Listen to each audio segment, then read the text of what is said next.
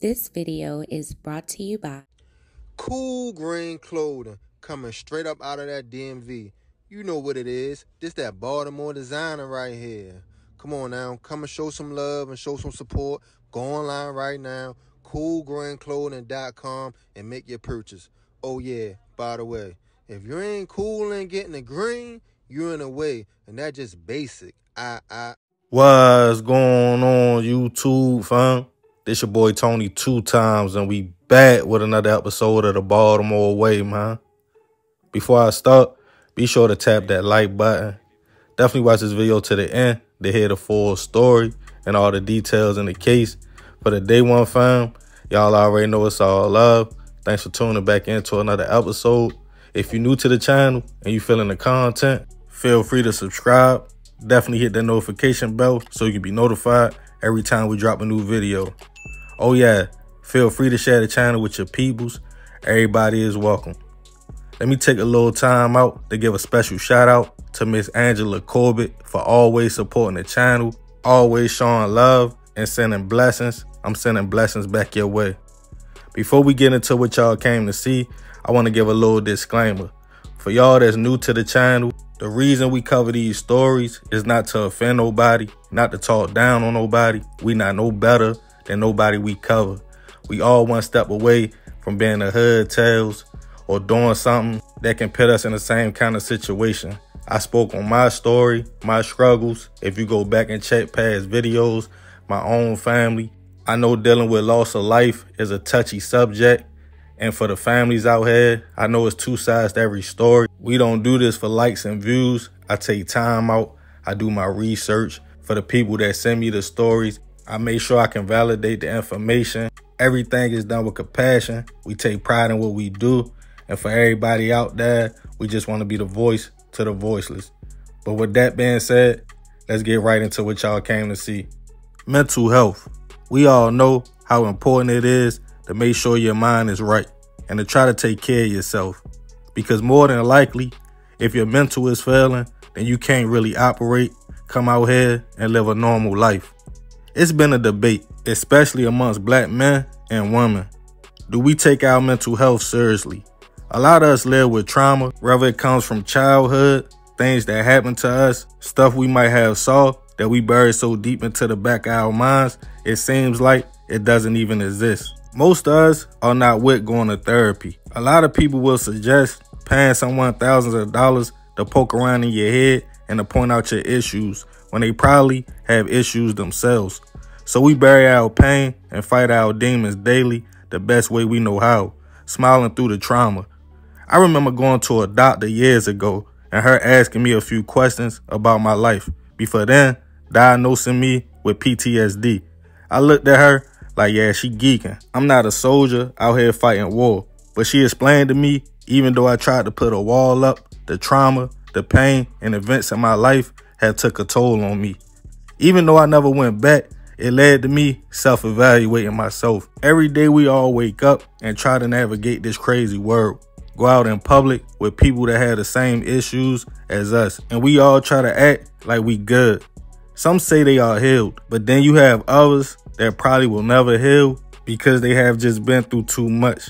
And when they get to their breaking point, the outcome can be tragic. And on this episode of the Baltimore Way, we'll be discussing the case of a man's breakdown on live that led to him confessing to slaying multiple people. In January of this year, 31-year-old Antonio Huck was navigating life in Baltimore. Antonio seemed like everything was on the up and up. On the outside looking in, he seemed happy. He was in a relationship, had kids, and was living a regular life. But deep inside, every day was a struggle, as the man was fighting demons.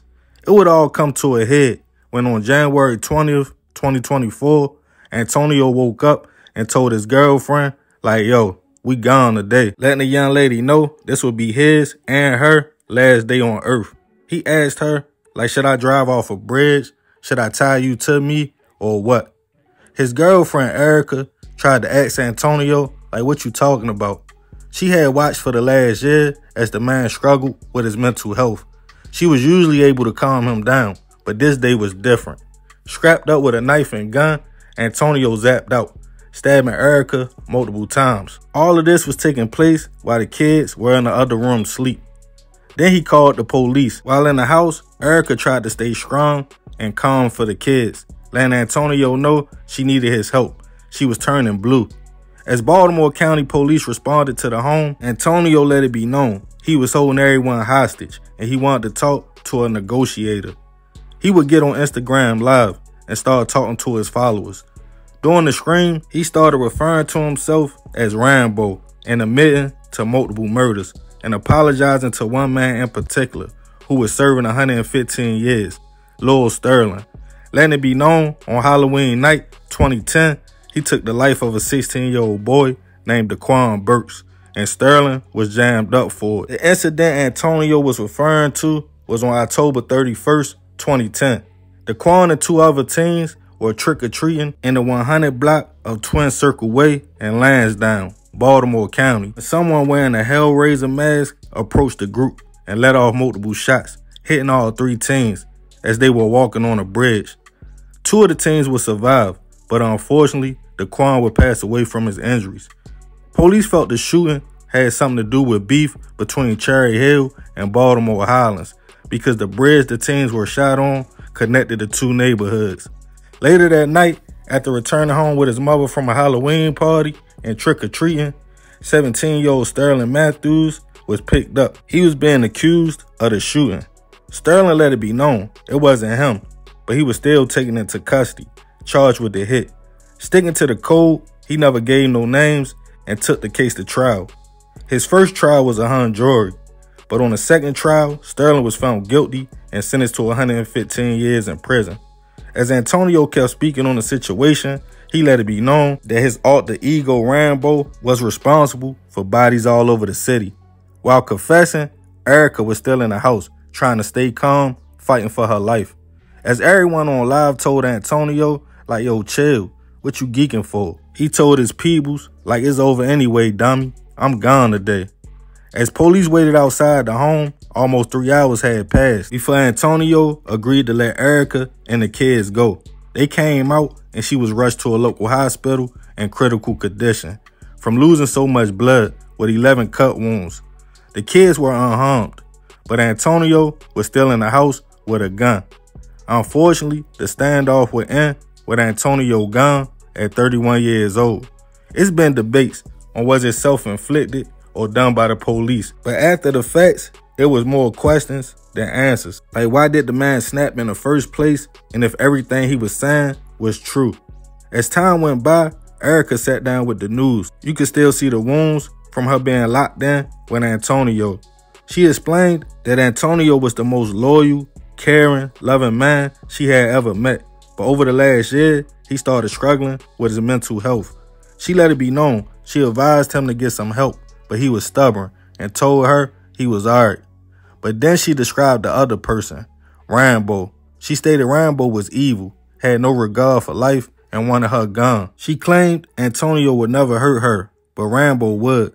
After explaining the situation and how she tried to escape, she let it be known the only thing that kept her going was knowing the kids were in the other room, so she couldn't stop fighting.